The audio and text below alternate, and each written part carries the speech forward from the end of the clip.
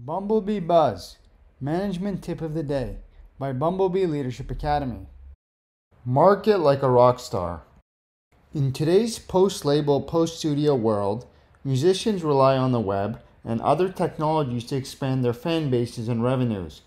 Here are a few things you can learn from their innovative marketing.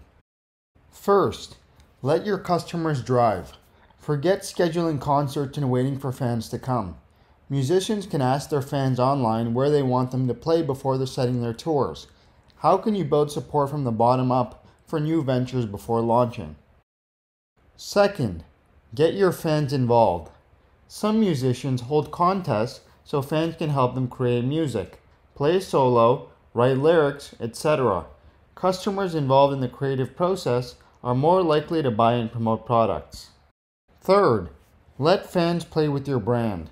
By loosening copyright protections, musicians let fans create adjacent products using their brands. These can help win over new customers and generate revenue.